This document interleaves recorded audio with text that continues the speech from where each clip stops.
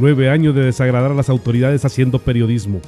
Gracias a cada uno de nuestros seguidores que nos ha permitido estar como espectadores en primera fila de los acontecimientos en Jalapa.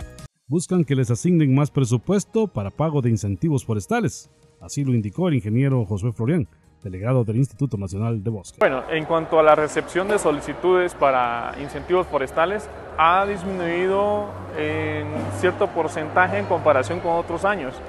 Eh, ¿Cuál es la causal? La causal es por la poca disponibilidad eh, financiera que, valga redundancia, pues el Ministerio de Finanzas no nos ha asignado suficiente presupuesto, pero en la actualidad están, estamos en gestiones.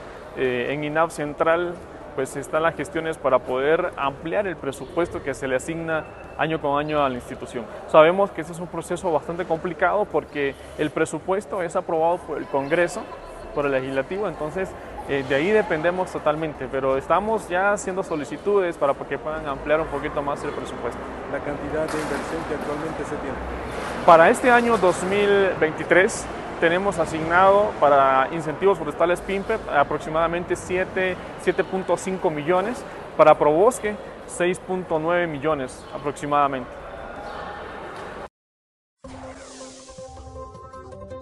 Para los T21, los Chapines y el mundo, notijalapa.net.